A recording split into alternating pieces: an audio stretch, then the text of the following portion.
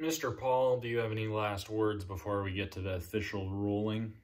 To be absolutely clear, neither I nor anyone in my group engaged in any looting or vandalism. Okay, okay. Everyone please direct your attention to Exhibit A, Mr. Paul's video from this weekend. Yo, what is up, Jake Paulers? It's Jake Paul, and today I got a crazy video lined up for you guys. Today, me and my group are going to engage in looting and vandalism in the mall. Let's go!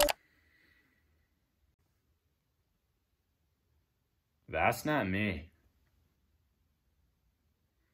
Roll the clip. Yo, Jake Paulers, how often do we engage in looting and vandalism? That's right, it's every day, bro! Every day. Every day, bro. I feel like I've heard that somewhere before.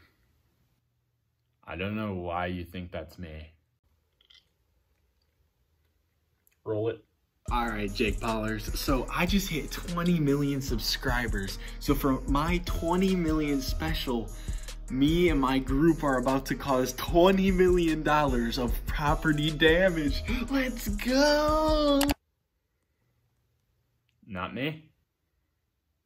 Last thing before we get into the video, I'm going to be showing my government ID, aka driver's license, on camera in order to prove that I, Jacob Joseph Paul, am actually vandalizing and looting this place with my friends. Yeah, right there. That's my ID. That's big facts. That is big facts.